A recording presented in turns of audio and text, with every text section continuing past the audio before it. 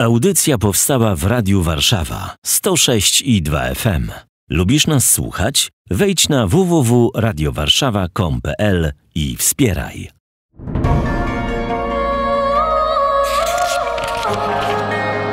Księga. Księga. Księga.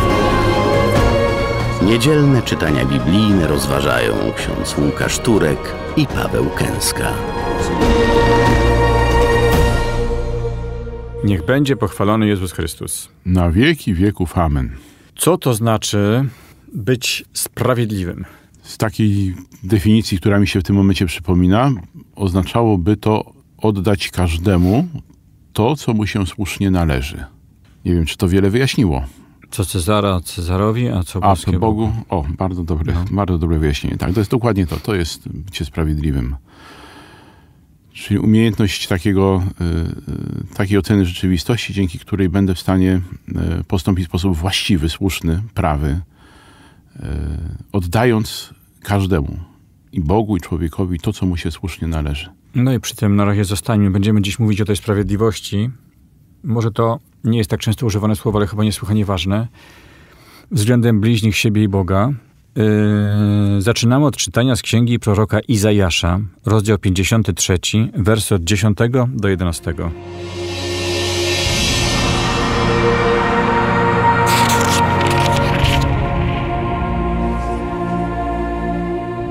Spodobało się Panu zmiażdżyć swojego sługę cierpieniem. Jeśli on wyda swe życie na ofiarę za grzechy, ujrzy potomstwo, dni swe przedłuży, a wola Pańska spełni się przez niego. Po udrękach swej duszy ujrzy światło i nim się nasyci. Sprawiedliwy mój sługa usprawiedliwi wielu. Ich nieprawości on sam dźwigać będzie.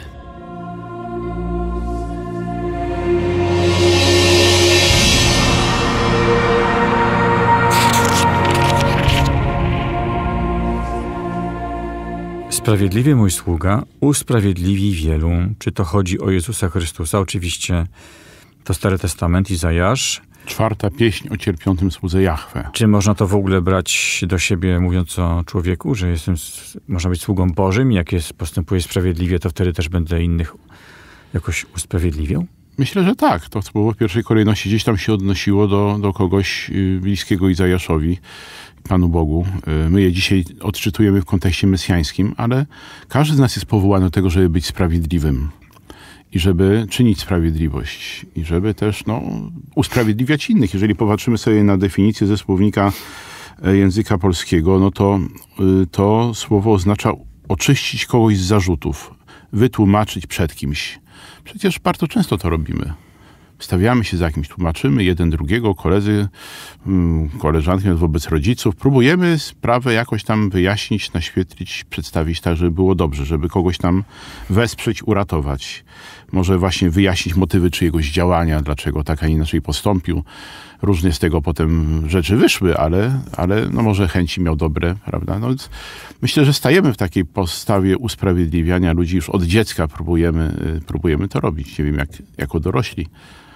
Czy też tak idziemy taką drogą? No i też Pan Bóg, my patrzymy na innych, prawda? Jakoś postępujemy i Pan Bóg e, patrzy na nas, zapewne jest sprawiedliwy, na pewno jest sprawiedliwy i to, co w swojej sprawiedliwości robi, spodobało się Panu zmiażdżyć swego sługę cierpieniem. Bardzo mocne stwierdzenie. Spodobało się Panu obdarzyć e, mnie, Ciebie, kogoś nowotworem mózgu. Spodobało się coś tam innego zrobić. Nie wiem, czy to się przekłada w ogóle. No, takie bardzo ryzykowne stwierdzenie, że spodobało się Panu Bogu obdarzyć kogoś nowotworem mózgu. Mnie, żeby nie było, że słowo spodobało się, mm, e, jest tym coś lekkiego. E, To mm, jest jednak e, staropolszczyzna trochę. To, to, to, to, to, to mając w pamięci rzeczywiście tak, Pan Bóg dopuszcza różnego rodzaju sytuacje, które też zawsze czemuś mają służyć. Y, Zawsze naszemu dobru, wierzymy w to, jakiemuś oczyszczeniu, jakiemuś wzrostowi, jakiejś dojrzałości. To prawda, ale my w najgłębszej swojej istocie, to czego po grzechu pierworodnym potrzebowaliśmy y, i co się stało już naszym udziałem dzięki Jezusowi, no to żeby nas tak Pan Jezus wytłumaczył przed Ojcem. Żeby nas usprawiedliwił przed Ojcem, żeby uczynił nas sprawiedliwymi, bo nie byliśmy sprawiedliwymi wobec Pana Boga. Dopuściliśmy się niesprawiedliwości w raju, kiedy, kiedy poszliśmy za głosem złego ducha, szatana, kiedy odrzuciliśmy Boże prawo, Bożą miłość, Bożą troskę, dobro, które nam dał na rzecz prawda, jakichś wyimaginowanych mm, korzyści, które wynikały z e, odrzucenia, tak, czy wejścia w tą postawę nieposłuszeństwa Panu Bogu. I to stało się naszym grzechem, złem, które żeśmy uczynili. No i domagało się to usprawiedliwienia. Jezus to wziął na siebie. Ja tutaj sobie też tak doczytuję troszeczkę e, w internecie, patrząc, że co to jest usprawiedliwienie. Jedna inna z możliwości. Uczynienie człowieka grzesznego sprawiedliwym w oczach Bożych, takim, jak gdyby wypełnił obowiązujące go przykazania. My wiemy, że żeśmy w raju nie wypełnili obowiązującego nas przykazania. Jezus bierze na siebie tą rzeczywistość i on wypełnia to, co sprawiedliwe w oczach Pana Boga, czyli jest mu posłuszny, jest mu oddany, wypełnia wolę Ojca i daje nam to usprawiedliwienie, czyli wypełniając, chociaż nie musiał tego robić, bo sam był bez winy, bierze konsekwencje naszej niesprawiedliwości na siebie, ponosi śmierć i przez ten akt miłości bezwarunkowej przywraca nam, tak jakbyśmy wypełnili Boże przykazania, jakby tego grzechu pierworodnego po prostu nie było. I to uczynił dla nas Jezus. I to jest największy dar, jaki żeśmy otrzymali w całej historii ludzkości. Wydał swe życie na ofiarę za grzechy, ujrzał potomstwo. No to, to, to jest, to, i tu jest, i to ściana, nie? Czy niekoniecznie ściana, bo no mówię, no my to czytamy mm. w kontekście mesjańskim i tak, pan tak, teraz tak. powie, co już sobie nie musi przedłużać. Tak, tak. Ale jeżeli my na to popatrzymy w kontekście ludzkim, tak, że człowiek, który daje swoje życie w służbie sprawiedliwości, to naprawdę przedłuża swoje istnienie. Tak na ziemi i w niebie. Czyni swoje życie darem dla innych. I z tego daru zawsze wynikają jakieś dobra. No chociażby Maksymilian Maria Kolbe, który, który dopuszcza się, no, który czyni to, co uczynił, prawda, w obozie koncentracyjnym. Oddaje swoje życie. Może owoc tej jego ofiary jest niesamowity. On wziął na siebie śmierć tego człowieka. Można powiedzieć, że no, uczynił go sprawiedliwym, prawda, w tej całej rzeczywistości przedłużył jego życie. Człowiek wrócił do rodziny, wrócił do życia. Czyli oddać Bogu to, co mu się należy, to oddać mu moje życie. Tak? Tak. Oddać mu swoje życie takim, jakim ono jest. Jeżeli patrzymy na to w, kont w kontekście grzechu pierworodnego i wszystkich naszych słabości, to Bóg chce, żebyśmy my mu oddawali naszą nędzę, żebyśmy mu oddawali nasze grzechy. On tak naprawdę tą ofiarą najbardziej się cieszy, ponieważ kiedy my z własnej woli oddajemy mu to wszystko, co nas od niego oddziela, on może to przemienić i, i uczynić z tego dar dla nas. Mm, może przywrócić nam życie. Może zabrać nam ciemność, zabrać nam naszą pustkę, mm, cały ten brud i wypełnić to wszystko światłem, pokojem, radością, bo taka jest natura Bożego działania. I też na bliźniego mogę patrzeć ze sprawiedliwością Bożą, prawda? Nie moją, czyli prawda, to mi nagrabił i to mi jest winien, a tego to nigdy nie robiłem. To jest moja sprawiedliwość, prawda? A temu to się nie należy, bo ten to już dostał. Tylko z Bożą sprawiedliwością, czyli tak, jakby jego życie było w Bogu. Też i, i uświadomienie sobie, że jego życie jest cenne w oczach Pana Boga. Dlaczego Pan, jest, Pan Bóg nas usprawiedliwił? Dlaczego posłał na świat swojego Syna, na śmierć swojego Syna? Ponieważ nasze życie było i jest cenne w oczach Pana Boga. On się nie pogodził z tym, żeby żeśmy weszli w doświadczenie śmierci wiecznej po grzechu pierworodnym. Nie pogodził się z tym. I dlatego czynił, uczynił to, co uczynił. Teraz ja, jeżeli chcę rzeczywiście patrzeć na drugiego człowieka trochę oczami Pana Boga, to też uświadamiam sobie, że ten człowiek jest cenny w oczach Pana Boga i powinien być również cenny w moich oczach. Ja nie potrafię patrzeć oczywiście tak jak Pan Bóg, ale jeżeli mam komuś wybaczyć, mam kogoś usprawiedliwić, mam go wytłumaczyć, przed sobą samym chociażby, tak, że on również różną historię życia miał, w różny sposób jest poraniony, może on wcale nie chciał uczynić tego, co uczynił yy, tak intencjonalnie, wiemy, różnie jest. To ja gdzieś w ten sposób, patrząc na drugiego człowieka, będę troszeczkę wchodził w ten sposób patrzenia Pana Boga. Za chwilę przeczytamy fragment z listu do Hebrajczyków.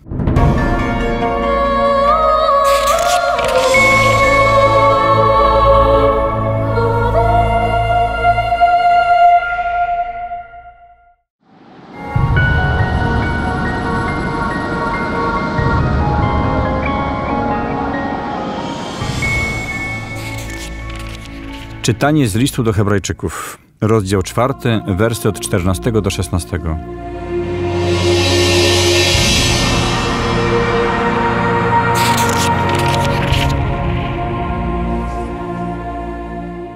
Mając arcykapłana wielkiego, który przeszedł przez niebiosa, Jezusa Syna Bożego, trwajmy mocno w wyznawaniu wiary.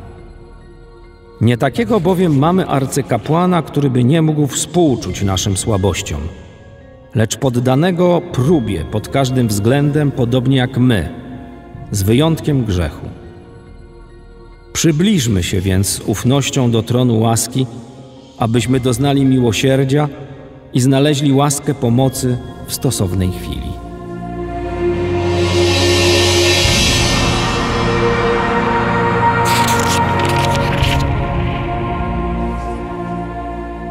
Autor listu do Hebrajczyków mówi o tym kapłanie, synu Bożym, który poddany został próbie pod każdym względem, podobnie jak my, z wyjątkiem grzechu, e, abyśmy mieli odwagę przybliżać się do Niego z ufnością. I to nie, nie chodzi o takie ostateczne przybliżenie się do Boga, prawda, że z każdą godziną się przybliżam. No, jakby nie było, nawet z każdą minutą. Hmm. Ale napisane jest na końcu, abyśmy doznali miłosierdzia i znaleźli łaskę pomocy w stosownej chwili. W stosownej, czyli w tej ostatecznej? Czy to właśnie teraz, jak ja nie mam pustą głowę i muszę komentować i jak ja mam pustą głowę i staram się zadać jakieś mądre pytanie i nic tam nie ma w środku. Tak, to tu jest ta stosowna chwila, kiedy potrzebujemy interwencji Pana Jezusa i zawsze możemy do Niego przyjść i powiedzieć, Panie Jezu, ratuj. Panie Jezu, ratuj. Panie Jezu, ratuj. Ty, ty miałeś różne sytuacje, kiedy Cię atakowali, kiedy nie wiedziałeś być może, jakie słowa dobrać w różnych okolicznościach Twojego życia. A mimo wszystko zawsze powiedziałeś to, co należy powiedzieć. Zadałeś bardzo konkretne pytanie faryzeuszom uczonym w piśmie, które rozwiązało problem i, i, i było pięknie. Dla mnie to czytanie jest piękną kontynuacją pierwszego czytania, bo, bo tam mamy zapowiedź y, mesjańską, doświadczenia, przez które przeszedł Mesjasz. E, a tutaj już z perspektywy tego, że to się już dokonało. Męka, śmierć i zmartwychwstanie Jezusa już jest za nami. Proroctwo Izajasza się już wypełniło. E, mamy Jezusa Chrystusa, naszego arcykapłana, czyli kogoś, kto złożył ofiarę i który ofiarę wieczną, ofiarę usprawiedliwiającą, ofiarę otwierającą nam bramy nieba, ofiarę gładzącą nasze grzechy.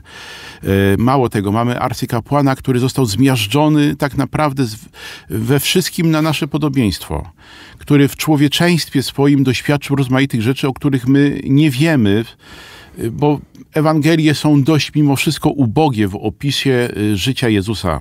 Tak? Mamy te trzy lata tak naprawdę jego życia, fragment dzieciństwa, gdzieś tam jakiś moment jeszcze w jednej Ewangelii, y, ten, synoptycznych mamy jeszcze Jezusa w świątyni jerozolimskiej w wieku lat 12 i co dalej. I tak naprawdę niewiele więcej wiemy o jego życiu, ale wiemy, chociażby z tego fragmentu listu, że z wyjątkiem grzechu, to Jezus został doświadczony w swoim człowieczeństwie we wszystkim na nasze podobieństwo. Wiemy, że stracił ludzi, stracił ojca swojego ziemskiego. Wiemy, że był zgardzony i poniżany i prześladowany. Wiemy, że cierpiał fizycznie. Wiemy, że miał przyjaciół, czyli miał także dobre, mocne doświadczenia, fajne takie rzeczy, które go budowały, ale też rzeczy, które go niszczyły. I jest człowiekiem, który nas do końca rozumie. Nawet ten moment y, modlitwy w ogrójcu jest to doświadczenie depresji u Jezusa bardzo mocne doświadczenie depresji. Więc nawet jeżeli ktoś jest w depresji, w dole, w ciemnościach, ma tutaj w Jezusie kogoś, kto też przez to przeszedł, który go rozumie. O tym pisze autor listu do Hebrajczyków, że Jezus Chrystus wszedł tak głęboko w doświadczenie człowieczeństwa, doświadczenie naszego życia, biorąc naszą naturę ludzką, czyli człowieczeństwo na siebie, przyjmując je w łonie Maryi Dziewicy, stając się człowiekiem, doświadczył wszystkiego, czego doświadczamy my. I w związku z powyższym my możemy do Niego przyjść jako do kogoś, kto nas rozumie, kto patrzy na nas z perspektywy człowieka, którym był prawdziwym do końca, który przeszedł przez życie tak, jak my musimy przez to życie przejść. Nie jest tylko Bogiem wszechmogącym, o którym byśmy mogli sobie pomyśleć, że tak patrzy sobie z wysoka i fajnie mu patrzeć i fajnie mu mówić, bo on nie rozumie tego, co ja przeżywam. Tymczasem Jezus, właśnie tutaj autor listu do Hebrajczyków mówi, rozumie. Rozumie. I dlatego możesz do Niego przyjść. Możesz się do Niego zwrócić z ufnością. W jednym z nurtów religijnych y, dalekowschodnich jest taka koncepcja, że nasze poznanie, to co widzimy, słyszymy, doświadczamy, emocje, y, wiedza, wszystko to jest fałszywe. Wszystko to jest fałszywe, bo jest takie jakieś pierwotne, głębokie ja i naszym zadaniem życiowym jest się pozbyć wszystkich yy, złudzeń. To tutaj jest dokładnie odwrotnie. Nie chodzi o to, żebyśmy mieli nabierać złudzeń, ale chodzi o to, że życie nas uczy prawdy. Tak, my mamy być chrześcijanami, a nie na przykład buddystami. E, a w chrześcijaństwie chodzi o naszą relację z Panem Jezusem. I On e, mówi, masz takie życie, jakie masz. E, ja chciałem dla ciebie najpiękniejszego życia i cały czas tego życia najpiękniejszego chcę, ale żyjesz w świecie po grzechu pierworodnym. Żyjesz w świecie, który nie jest doskonały i w tym świecie ty również nie jesteś jeszcze doskonały. Potrzebujesz przemiany, potrzebujesz zbawienia e, tu i teraz, czyli tej, ta stosowna chwila to jest tu i teraz. Tu i teraz Jezus mnie zbawia. I w tym życiu jestem zbawiany, takim jakim ono jest, nie jakimś innym, nie wyimaginowanym. E, nie da się odrzucić e, tego świata i tego życia, no bo to jest część mnie to jest część mnie. Nawet jeżeli ja się zamknę w zakonie klauzurowym, oderwę się od y, wszystkich mediów, y, no to tam też będę się musiał zmierzyć ze swoim człowieczeństwem i słabym człowieczeństwem, z grzechem i skutkami grzechu. Będę w relacjach z jakimiś ludźmi, nawet jakbym był już kartuzem, prawda, który z, innymi się spotyka tylko na modlitwie i, i, generalnie milczy, nie rozmawia, to zawsze, zawsze będę musiał się skonfrontować. Wystarczy, że w lustro spojrzę, to się już muszę skonfrontować. Dokładnie, ze sobą samym. I w tej konfrontacji zawsze... Yy, będę dostrzegał, jeżeli będę patrzył tylko i wyłącznie w perspektywie ludzkiej, swoją bezradność wobec bardzo wielu rzeczy i e, swoją chorobę, swoje cierpienie. I dlatego Jezus mówił, nie potrzebują lekarza zdrowi, lecz ci, którzy się źle mają. Jeżeli ja odkrywam e, różnego rodzaju aspekty mojego życia, które są e, chore, to a żyję z Panem Jezusem, to wiem, że mam również lekarza, do którego mogę przyjść. I ważna jest ta ufność. Ważna jest ta ufność.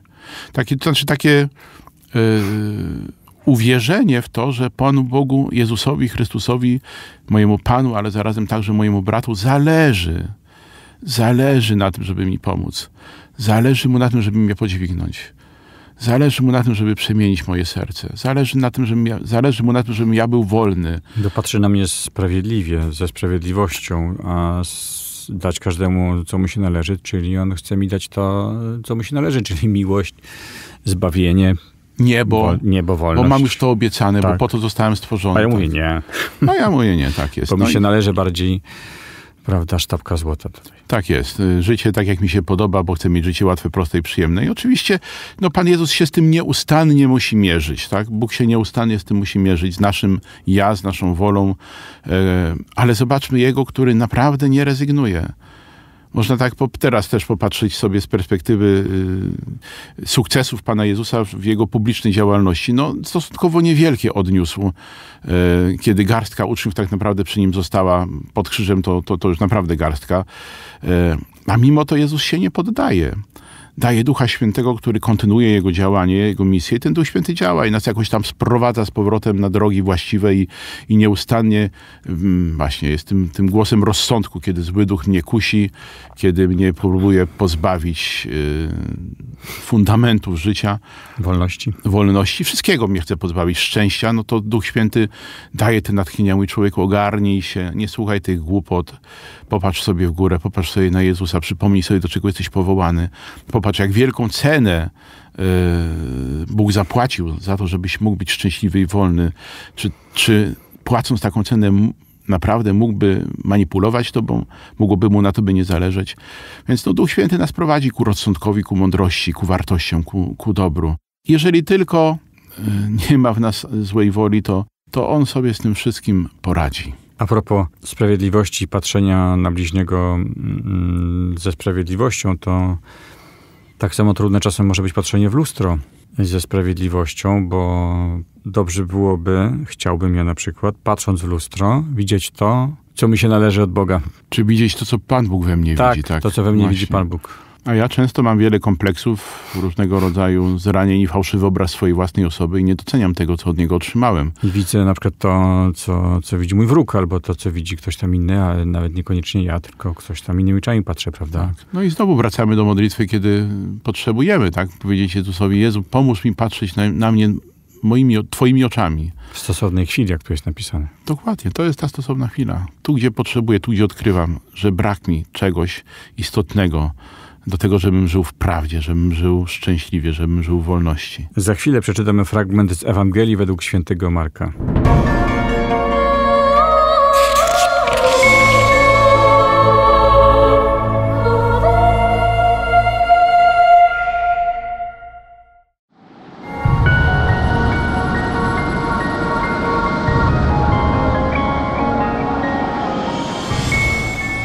Słowa Ewangelii według świętego Marka, rozdział 10, wersy od 35 do 45.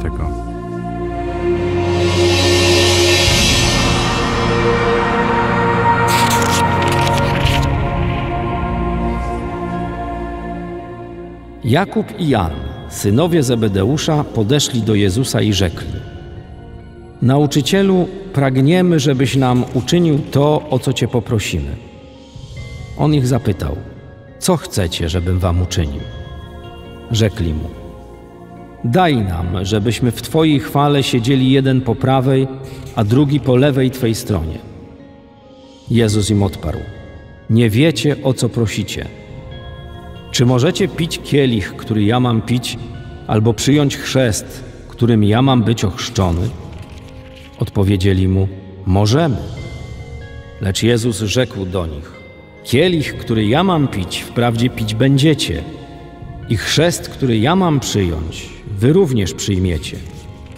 Nie do mnie jednak należy dać miejsce po mojej stronie prawej lub lewej, ale dostanie się ono tym, dla których zostało przygotowane. Gdy usłyszało to dziesięciu pozostałych, poczęli oburzać się na Jakuba i Jana. A Jezus przywołał ich do siebie i rzekł do nich: Wiecie, że ci, którzy uchodzą za władców narodu, uciskają je, a ich wielcy dają im odczuć swą władzę.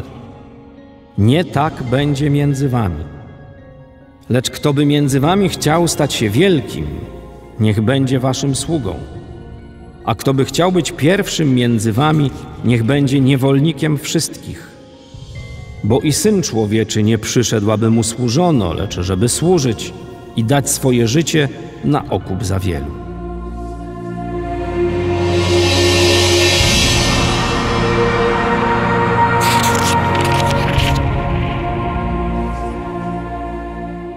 Tutaj mamy dwie wizje sprawiedliwości. Pierwsza zaczyna się tak. Nauczycielu, pragniemy, żebyś nam uczynił to, o co cię prosimy. Tak, i to jest nasza wizja sprawiedliwości. Tak. Nasza, nie Boża, nasza. Nasza wizja sprawiedliwości. Mamy pewną wizję tego, co chcielibyśmy otrzymać i uważam, że to jest sprawiedliwe, Że się należy. że się należy, no bo w końcu poszliśmy za tobą, Tak. zostawiliśmy nasze gospodarstwo rybackie, e, zostawiliśmy nasz dom, nie założyliśmy póki co żadnej rodziny, w związku z powyższym jesteśmy tutaj jakoś tam stratni, służymy tobie i spędzamy czas i ogarniamy te tłumy, które za tobą latają, więc należy nam się za to zapłata. Oni też mieli pewną wizję prorocką, można powiedzieć, chwała im za to, bo powiedzieli, żebyśmy w Twojej chwale, czyli coś tam jarzą, że będzie chwała, bo pewnie doraźnie to różnie bywało, siedzieli jeden po prawej, drugi po lewej Twojej stronie. Czyli oni zrozumieli, że to jest ten człowiek i że oni z nim dojdą tam, gdzie trzeba. Tak, zrobią karierę przy nim. No ta chwała to niekoniecznie musi mieć odniesienie do nadprzyrodzoności i do nieba. To chwała, jak zasiądę na tronie, prawda, w Królestwie Ziemskim, w pałacu prezydenckim y, i będę pierwszym ministrem prezydenta, czy, czy właśnie y, ministrem dworu y, na dworze królewskim, no to to jest chwała. To ja to się świetnie przekłada e, na, na życie parafialno-rodzinne. Może się przekładać, prawda? Że ja już jest, tak się poświęcam, że ktoś wreszcie powinien to uznać i mi oddać sprawiedliwość. Tak jest, docenić, pochwalić, zauważyć, poklepać po ramieniu, No tak. I w No. jaki sposób wynagrodzić? Zarabiam przecież y, na ten dom i pracuję dnie i nocy cały czas, więc odczepcie się wreszcie ode mnie, bo Muszę odpocząć. należy mi się, prawda? Tak jest. No tak, to mamy tego, tego rodzaju potrzeby rzeczywiście mocno, bardzo mocno w sobie zakorzenione i to wynika z tej naszej wizji sprawiedliwości. No i jak to Pan mówi, jest jeszcze inna e, sprawiedliwość. No tu Jezus mówi, nie wiecie o co prosicie. Bardzo dobrze to nazywa. Delikatnie, delikatnie. No właśnie, ponieważ Jezus rzeczywiście przygotowuje dla nich różne rzeczy i wie już, co się wydarzy w ich życiu, jaka będzie przyszłość i wie, co, no właśnie, wie, co zaplanował. Ma chwałę dla nich przygotowaną, tylko że zupełnie inną, taką, no, której oni nie są w stanie pojąć. Yy, A w związku z powyższym, no, myślę, że nawet nie są w stanie jej zapragnąć w tym momencie. Tej prawdziwej chwały, którą Bóg dla nich przygotowuje, bo, bo są tak ograniczeni tymi swoimi wizjami i swoimi oczekiwaniami. Ale Jezus y, jak gdyby nie zaprzecza tym ich pragnieniom. Oni mają dobre intuicje, Tak, tylko nie rozumieją tego, nie są w stanie pojąć, bo oni wiedzą o co chodzi, że chcą być przy Jezusie, chcą być w Jego chwale, to, to każdy by chciał, kto jako tako zaczyna rozumieć. Tylko nie wiedzą, nie wiedzą jeszcze w jaki sposób to się ma stać. tak. I, i, jak to będzie wyglądało, kiedy już ten cel zostanie osiągnięty. I Bóg tutaj jest y, bardzo taki otwarty na te ich pragnienia i zobaczmy, że nie kasuje tych ludzi, tylko y, próbuje oczyścić ich pragnienia i zadaje im takie pytania dodatkowe, które mają troszeczkę ich, no nie wiem, spionizować, powiedzmy sobie, w tym y, i ukierunkować na właściwy sposób myślenia. I zapowiada im tutaj, no, mówi o swojej męce. Mówi, moje królowanie przejdzie przez krzyż. Moje królowanie przejdzie przez wypicie kielicha goryczy, kielicha śmierci. Czy jesteście w stanie taką drogą pójść? Będę ochrzczony krwią. Tego im tutaj wprost nie mówi. Czy możecie, ale się jej pyta, czy możecie pić kielich, który ja mam pić, czy możecie przyjąć chrzest, być ochrzczeni chrztem, którym ja będę ochrzczony. No i gdyby podbudowuje ich pragnienia jeszcze bardziej i potem wyjaśnia, że stanie się to, y, czego pragniecie. Chociaż nie tłumaczy im też tak, że to będzie zupełnie inaczej niż sobie to wyobrażacie. Mówi jeszcze ciekawą rzecz. Nie do mnie jednak należy dać miejsce po mojej stronie prawej lub lewej, ale dostanie się ono tym, dla których zostało przygotowane. Tak jakby Jezus nie był panem tej sytuacji. Jak to rozumieć? Myślę, że to dosłownie rozumieć. Y, Jest pewien plan, który y, Pan Bóg ma od zawsze, od dawna. Y, Jezus, mówiliśmy już troszeczkę o tym w różnych momentach, że no tutaj w tym człowieczeństwie Jezus jest ograniczony. Yy, troszeczkę, żeby to dość dobrze zrozumieć. Jest prawdziwym Bogiem w 100%, ale jest też prawdziwym człowiekiem w 100%. I posłany został przez, y, o, przez Ojca, żeby wypełnił wolę Ojca, dlatego On poddaje się panowaniu Ojca, poddaje się woli Ojca, y, wypełnia Jego wolę, tak? I w tym sensie to Ojcu oddaje decyzję co do tego, jak dzieje ludzkości, także dzieje Jakuba i Jana dalej mają się potoczyć. Kto będzie miał miejsce po lewej stronie, po prawej stronie mojego, to ojciec o tym decyduje. No i tutaj dochodzi do pewnego przewartościowania, bo wkurzyła to rozmowa w pozostałych dziesięciu, którzy tam byli, bo poczuli się jakby trochę, że już ktoś to miejsce sobie zaklepał, a oni też by pewnie prawda, mieli jakieś swoje do tego pretensje. Mhm. I Jezus im mądrze tłumaczy, na czym polega bycie wielkim. Trochę jak dzieciom to tłumaczy. Ciągle jest ta opowieść, że perspektywa Jezusa, chodzi tu o sprawiedliwość, dać każdemu, co mu się należy, miejsce przy Panu, tak? To jest dokładnie odwrotnie niż mówi świat. Chcesz być wielkim? No i tak, i, i tego właśnie ciągle Jezus chce nas uczyć. Tutaj chce tego uczyć apostołów. Pokazać im właściwą perspektywę, tą swoją. I, i, widać, jak to się trudno do ich świadomości, do ich serc przebija. I do naszych świadomości, do naszych serc również się to bardzo trudno przebija. Tracić swoje życie jest nam bardzo niewygodnie ze względu na Królestwo Boże. Zgodzić się na to, żeby być ostatnim, jest dla nas bardzo trudne. E, Chcemy coś znaczyć, chcemy być kimś. Właśnie tak, żeby no, na miarę swoich y, oczekiwań, swoich pragnień, swoich ambicji coś w życiu osiągnąć, coś w życiu zrealizować, y, jakieś cele sobie wyznaczyć i osiągnąć. Tymczasem y, te cele nasze same sobie nie muszą być złe. One mogą być dobre. Ale bardzo ważne jest to, żeby one były podporządkowane mm, Bożemu planowi, Bożej, Bożej woli co do naszego życia. Y, I przede wszystkim tej Bożej perspektywie, y, że największym sukcesem w Bożym planie wcale nie jest to, co jest największym sukcesem w oczach tego świata. A no właśnie, i sprawiedliwość to może być tak, poddać się Bożej sprawiedliwości, czyli pozwolić Bogu, żeby mnie obdarowywał tym, czym chce. Tak jest. I troszeczkę zakwestionować tą swoją własną wizję sprawiedliwości, yy, pozwolić na to, żeby On mi pokazał inne perspektywy, inne cele, żeby poukładał w moim życiu wszystko we właściwych proporcjach i przede wszystkim we właściwej hierarchii wartości. Żebyśmy ciągle sobie przypominali, że to Bóg wie najlepiej, to Bóg chce mojego dobra w stopniu doskonałym, to Bóg ma plan najlepszy dla mojego życia.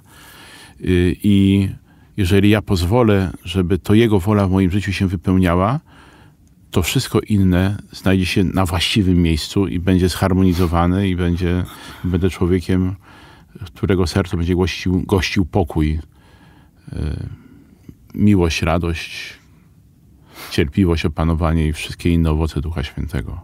Czyli przyjąć od Boga to, co Bóg chce mi dać. Wierząc w to, że to jest dla mnie najlepsze. I jeszcze to jest ciekawe, że jeżeli będziemy z Bogiem, tak sobie to wyobrażam, tak to rozumiem, to będziemy mogli być bardziej narzędziami Jego sprawiedliwości wobec ludzi. Czyli czynić Jego sprawiedliwość wobec moich bliźnich. Tak, bo y, no, to jest wszyscy, którzy poszli za Jezusem, do, za Bogiem do końca tego, tego właśnie dokonali. Jezus sprawiedliwie wypełnił wolę Ojca i jakie to ma skutki dla nas wszystkich. Maryja poddała swoje życie, sprawiedliwie wypełniła wolę Ojca i co, jakie to ma skutki dla nas.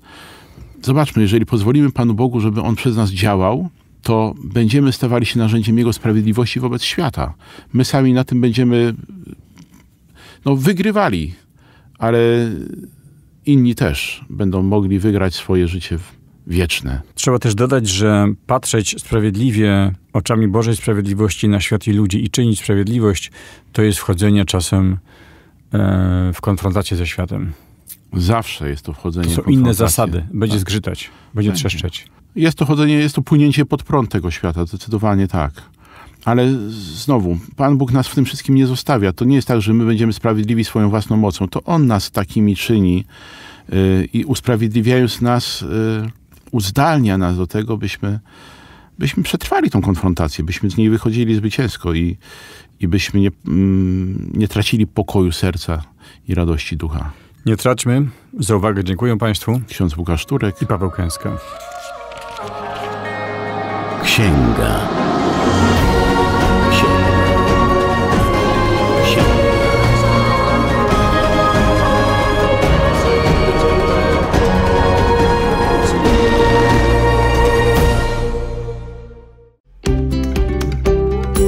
Audycje takie jak ta powstają dzięki hojności słuchaczy Radia Warszawa. Lubisz nas słuchać? Wejdź na www.radiowarszawa.com.pl i wspieraj.